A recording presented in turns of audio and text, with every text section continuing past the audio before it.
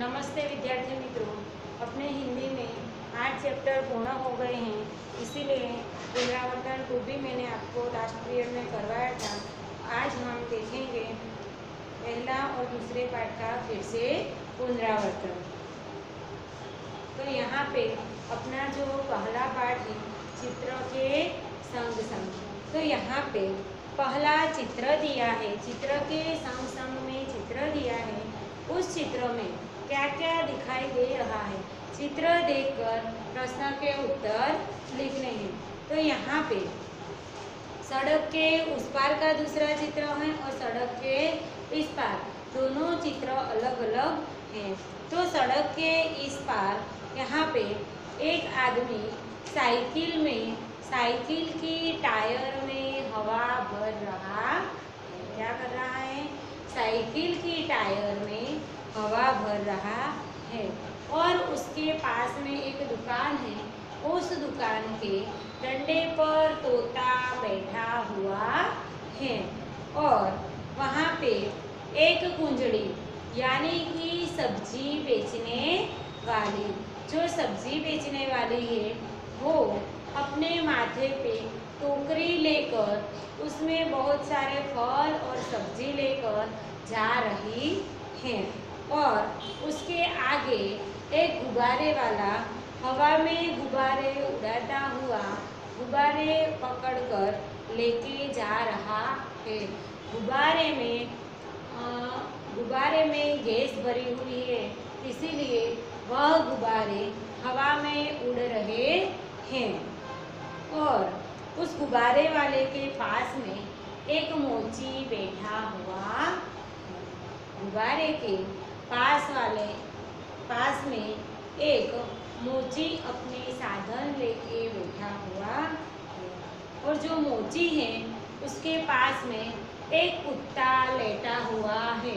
वह आराम कर रहा है। वह मूल कर सड़क पर सो रहा है। वह आराम कर रहा है। तो यहाँ पे पहला चित्र और सड़क पे एक रिक्शा जा रही है। रिक्शे के पीछे दो कार आ रही है। रिक्शे के पीछे कितनी कारें आ रही है? तो दो। रिक्शे के पीछे दो कारें आ रही है और रिक्शे में एक ही पैसेंजर बैठा, यानी कि एक ही सवारी बैठी हुई है। तो उसमें दूसरे पैसेंजर क्यों नहीं है? तो क्योंकि उसको दूसरे पैसेंजर नहीं मिले। इसीलिए एक ही पैसेंजर बैठा हुआ है और उसके आगे एक बाइक वाला मोटरसाइकिल लेकर जा रहा है। तो यहाँ पे प्रश्न दिए हैं कुछ। पहले चित्र में कौन कौन सी क्रियाएँ हो रही है? तो उसका उत्तर है, पहले चित्र में साइकिल में एक आदमी साइकिल की टायर में हवा भर रहा है। दुकान के डंडे पर तोता बैठा हुआ है। मोची अपने साधन खोलकर सड़क के इस पार बैठा हुआ है। कुत्ता मुँह लटका कर सोया हुआ है। एक गुब्बारे वाला हवा में गुब्बारे उड़ाते हुए जा रहा है। एक कुंजड़ी माथे टोकरी रखकर सब्ज़ी बेचने जा रही है। इस तरह की क्रियाएँ पहले चित्र में हो रही है। तो यहाँ पे दूसरा प्रश्न दिया है कि गुब्बारे हवा में क्यों उड़ रहे हैं? तो गुब्बारे हवा में इसीलिए उड़ रहे हैं क्योंकि उसमें गैस भरी हुई है। गुब्बारे हवा में इसलिए उड़ रहे हैं क्योंकि उसमें गैस भरी हुई है। ट्यूब में हवा कब और क्यों भरी जाती है? तो जब हवा ख़त्म हो जाती है, तब ट्यूब में हवा भरी जाती है। चित्र में कुत्ता मुँह लटका कर क्यों लेट गया है? तो चित्र में कुत्ता मुँह लटका कर आराम कर रहा है। कुंजड़ी कहाँ कहाँ जा सकती हैं? तो कुंजड़ी सब्ज़ी बेचने कहाँ कहाँ जा सकती सकती तो कुंजड़ी शेरी शेरी गली गली, मोहल्ले मोहल्ले सब्ज़ी बेचने जा सकती हैं। रिक्शे में एक ही यात्री क्यों बैठा हुआ है? तो रिक्शे में एक ही यात्री इसीलिए बैठा है क्योंकि रिक्शे वाले को दूसरे पैसेंजर नहीं मिले। इसीलिए एक ही यात्री बैठा हुआ है। उसके आगे हैं पेज नंबर दो। पे यहाँ पे दूसरा चित्र दिया है। तो पहले तो मैं आपको चित्र दिखाती हूँ। चित्र में क्या क्या हो रहा है? तो यहाँ पे जो साइकिल वाला है, वो हवा, टायर में हवा भर रहा है। तो उस टायर में हवा ज़्यादा भरने की वजह से टायर फट गया है। क्या हुआ? हवा ज़्यादा भरने से टायर फट गया है। तो यहाँ पे इस चित्र में दिखाया गया है कि टायर फटने से क्या क्या हुआ है। यहाँ पे पहला प्रश्न पूछा है कि चित्र देखकर टायर फटने पर क्या क्या हुआ है। तो टायर फटने पर जो आदमी है मतलब कि जो साइकिल में हवा भर रहा था, वो आदमी गिर जाता है। और जो दुकान के डंडे पर तोता बैठा हुआ है, वह तोता उड़ने लगता है। और जो कुंजड़ी माथे टोकरी रख कर सब्ज़ी बेचने जा रही है, उसकी टोकरी गिर जाती है। ज़मीन पे सारे फल और सब्ज़ियाँ बिखर जाती हैं और जो गुब्बारे वाला गुब्बारे बेचने जा रहा है, उसके हाथ से गुब्बारे छूट जाते हैं और हवा में गुब्बारे उड़ जाते हैं। और जो उसके पास में मोची बैठा हुआ है, वो टायर फटने की आवाज़ सुनकर डर कर सड़क पर जा गिरता है। और जो उसके पास में कुत्ता सोया हुआ है, वो उठकर दौड़ने लगता है। तो यहाँ पे टायर फटने पर क्या क्या हुआ? ऐसा प्रश्न पूछा है। तो उसका उत्तर है कि टायर फटने पर यहाँ पे आदमी गिर जाता है। कुंजड़ी की टोकरी गिर जाती है, सब्ज़ी इधर उधर हो जाती है। गुब्बारे वाले के गुब्बारे हवा में उड़ जाते हैं। मोची सड़क पर आ गया है। कुत्ता उठकर दौड़ने लगता है। तोता डंडे पर से उठकर दौड़ने लगता है। इस तरह की क्रियाएँ इस चित्र में हो रही है। उसके बाद दूसरा है, टायर के अलावा फटने वाली चीज़ों के नाम लिखिए। तो टायर के अलावा तो गुब्बारा फटता है। फुटबॉल है, ये सब फटने वाली चीज़ें हैं। उसके आगे हैं, रिक्शे वाला बाइक से क्यों टकराया? या तो जो बाइक वाला है, वो सही से बाइक नहीं चला रहा था। इसीलिए पीछे से रिक्शे वाले से बाइक वाला टकराया था। टायर फटने का प्रभाव किन पर किन किन पर नहीं पड़ा। तो सड़क पर नहीं पड़ा और जो साधन थे उस पर नहीं पड़ा और जो दुकानें थे उस पर नहीं पड़ा। मोची क्यों रास्ते पर आ गया? तो मोची, टायर फटने की आवाज़ सुनकर डर कर रास्ते पर आ गया। उसके बाद आगे हैं चित्र देखकर निम्नलिखित प्रश्न के उत्तर लिखिए। जैसे यहाँ पे दिया है कि रबर की चीज़ें टायर के अलावा फटने वाली सॉरी रबर से बनी हुई चीज़ों के नाम लिखिए। तो रबर से बनी हुई चीज़ें जैसे बास्केटबॉल, फुटबॉल और गुब्बारे बॉल तकिया मून बोकर ये सब क्या है? रबर से बनी हुई चीज़ें हैं। तो टायर फटने से पहले क्या हो रहा था? टायर फटने से पहले क्या हो रहा था?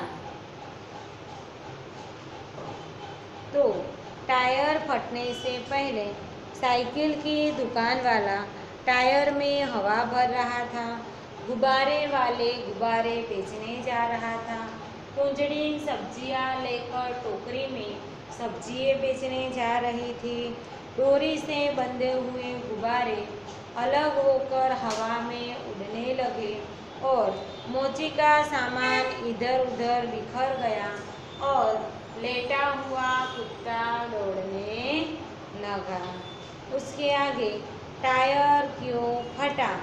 तो टायर पुराना था, इसीलिए हवा अधिक भर जाने से टायर फटा। उसके आगे है चौथा प्रश्न, टायर फटने के बाद क्या क्या हुआ?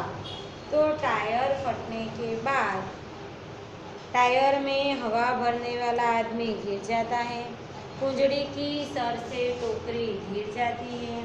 और सब्ज़ियाँ ज़मीन पर बिखर जाती हैं। तोता घबरा कर डंडे पर से उड़ने लगता है। डोरी से बंधे हुए गुब्बारे छूटकर हवा में उड़ने लगते हैं और मोची का सामान इधर उधर बिखर गया है। लेटा हुआ कुत्ता दौड़ने लगता है। इस तरह की चीज़ें टायर फटने के बाद यहाँ पे हुई हैं।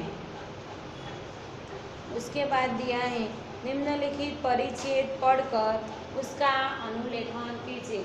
विद्यार्थी मित्रों, अनुलेखन का अर्थ है, जैसा परिच्छेद लिखा हो, उसको वैसे ही देखकर आपको लिखना है। आबेहूब सुंदर अक्षर, सुंदर और स्वच्छ अक्षर में अनुलेखन यानी कि जैसे लिखा है वैसा ही देखकर लिखना है।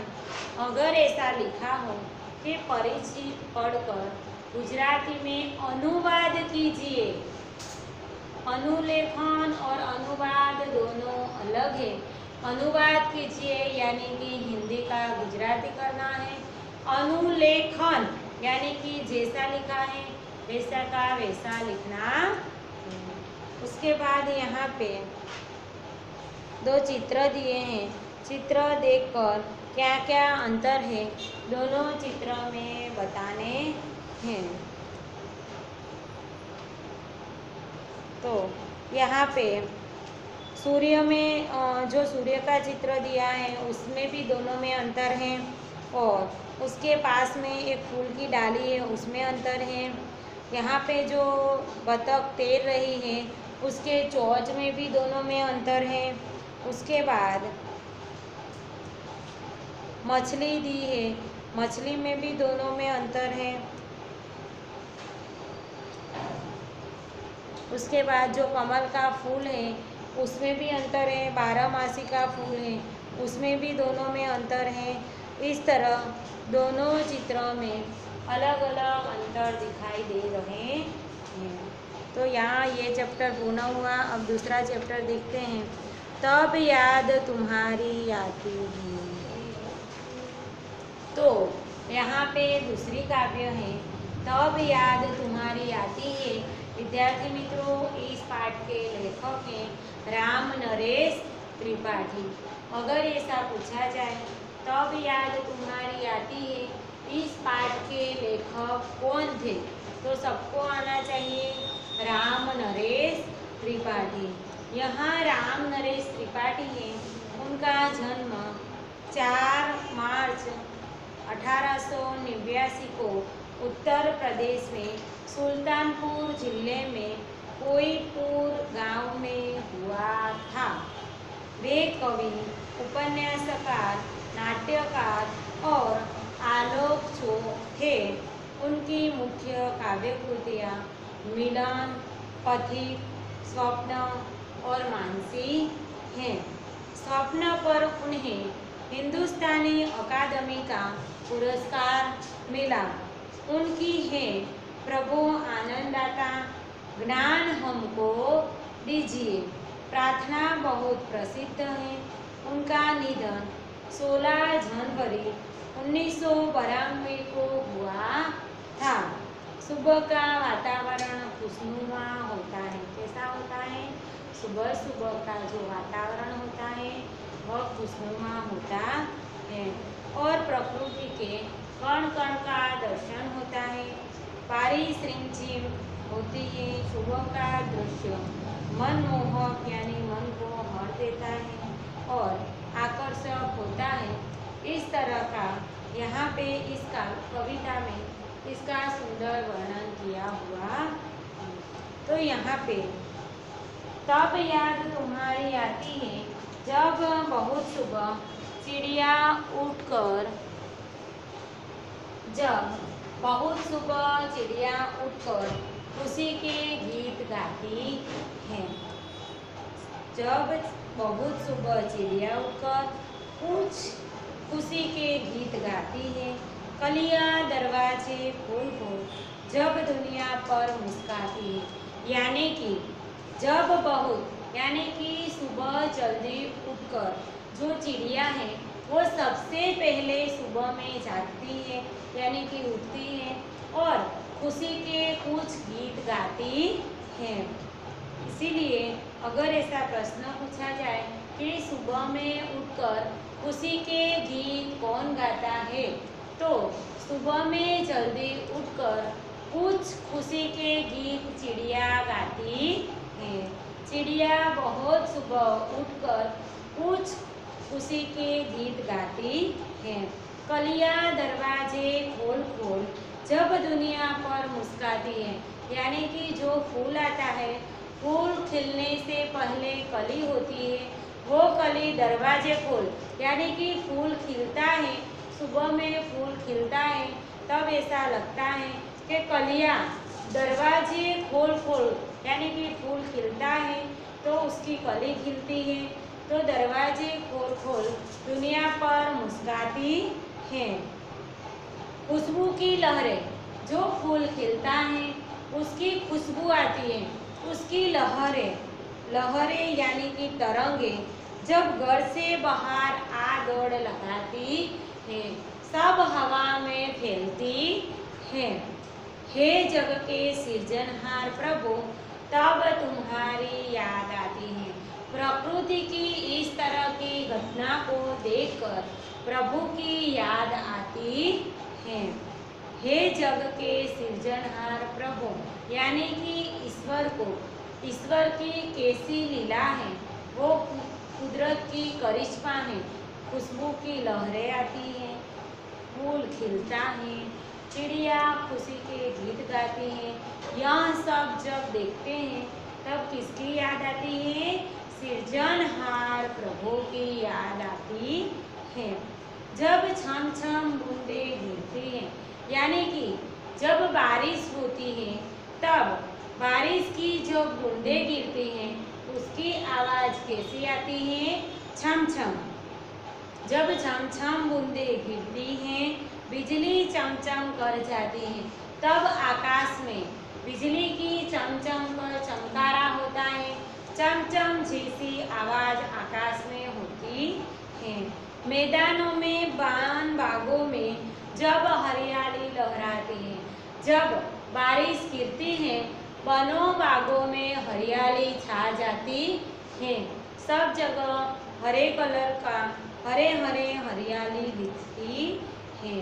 जब ठंडी ठंडी हवा कहीं से मस्ती ठोकर लाती है, यानी कि जब बारिश गिरती है, तब धरती पर हरियाली छा जाती है और ठंडी ठंडी हवा चलती है।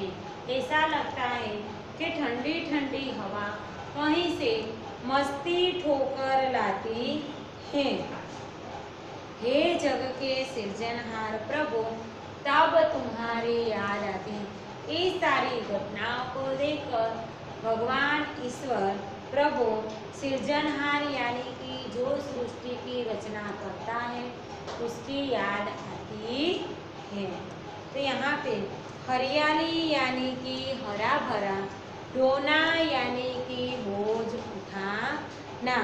तो यहाँ पे कवि कहते हैं कि सवार माँ દરવાજા વહેલી સવારે પક્ષીઓ ઉઠીને એવી રીતે કલરવ કરવા લાગે છે, જાણે કોઈ ખુશીના ગીત ગાઈ રહ્યા હોય. જ્યારે કળિયો પોતાના દ્વાર ખોલી ખોલીને દુનિયા પર સ્મિત કરવા લાગે છે, જ્યારે સુગંધની લહેરો હવામાંથી નીકળીને ફૂલોમાંથી નીકળીને ચારે તરફ ફેલાવા લાગે છે. ત્યારે આ સૃષ્ટિના સર્જનહાર પ્રભુની યાદ આવે છે. વર્ષા ઋતુમાં જ્યારે છમછમ વરસાદ પડે છે, છમછમ વરસાદના ટીપા નીચે પડે છે અને ચમચમ કરીને વીજળી ચમકે છે, ત્યારે મેદાનો, વનો અને બગીચાઓમાં હરિયાળી લહેરાવા લાગે છે.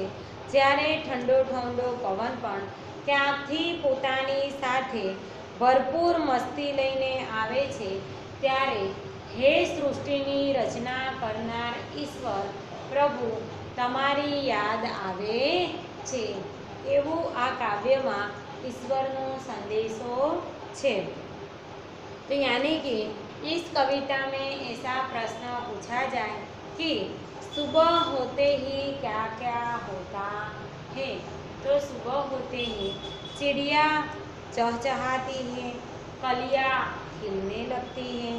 खुशनु खुशबू की लहरें फूलों से खिलकर निकलकर बनो चारों ओर फैल जाती है। खुशबू फूलों से निकलकर चारों ओर फैल जाती है। सुबह होते ही क्या क्या होता है? तो सुबह होते ही पक्षियाँ कलरव करते हैं। फूलों की खुशबुआ चारे और फैल जाती हैं कलियाँ खिलने लगती है। उसके बाद दूसरा प्रश्न है, मैदानों में हरियाली कब छा जाती है? तो मैदानों में हरियाली वर्षा ऋतु में छा जाती है। कब छा जाती है? वर्षा ऋतु में। मैदानों में हरियाली कब छा जाती है? तो मैदानों में हरियाली, वर्षा ऋतु में छा जाती है। आपको प्रभु की याद कब आती है? तो आपको प्रभु की याद तारे, सूरज और सागर, पर्वत आदि प्रकृति के सुंदर और अद्भुत रूपों को देखकर मुझे प्रभु की याद आती है। तुम सुबह में उठकर क्या क्या देखते हो? तुम सुबह उठकर क्या क्या देखते हो? सुबह में जब हम उठते हैं तो क्या क्या देखने को मिलता है? तो मैं सुबह उठता हूँ, देखता हूँ कि पूर्व दिशा में सूर्योदय हो रहा है। यानी कि सुबह होते ही धीरे धीरे पूर्व दिशा में सूर्योदय होता है। चिड़िया चहचहा रही हैं कलियाँ खिल रही हैं। लोग अपने अपने काम में व्यस्त हैं और पाठशाला में आने वाले विद्यार्थी घर से बाहर निकल पड़े हैं। दूध वाला घर घर और अखबार वाला घर घर अखबार पहुँचा रहा है। इस तरह सुबह उठकर ये दृश्य देखने मिलता है। उसके बाद, जब कोई वाक्य दिया हो, चित्रों को देखकर वचन परिवर्तन कीजिए तो वचन परिवर्तन में विद्यार्थी मित्रों, ऐसा दिया हो कि चिड़िया उड़ती हैं।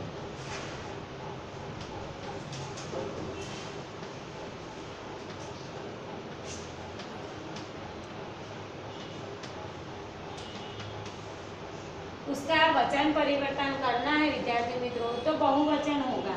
कैसे वाक्य बनेगा? चिड़ियाए, चिड़िया उड़ती है, चिड़िया उड़ती है। उसके बाद दूसरा है, कली खिलती है कली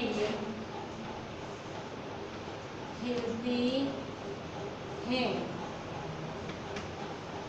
तो उसका वचन परिवर्तन होगा कलियाँ खिलती हैं कलियाँ कलियाँ खिलती हैं। फलियाँ खिलती हैं। उसके बाद तीसरा वाक्य है कि बूंद गिरती है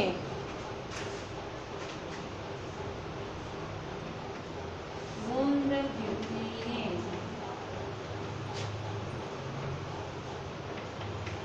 तो क्या आएगा बूंदे गिरती हैं बूंदे गिरती हैं